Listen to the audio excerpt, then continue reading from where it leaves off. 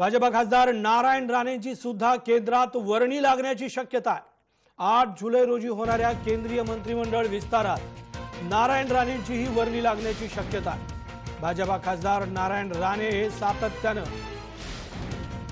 राज्य सरकारवर जोरदार टीका करतात. कोकणामध्ये भाजपाला पुन्हा एकदा स्थान मजबूत करायचं या दृष्टीनं नारायण राणे यांची केंद्रीय मंत्रिमंडळामध्ये वर्णी लागण्याची शक्यता आहे. आज नारायण राणे दिल्लीसाठी रवाना झाल्यात खासदार नारायण राणे यांची केंद्रीय मंत्रिमंडळात वर्णी निश्चित झाल्याचं मानलं जात आहे.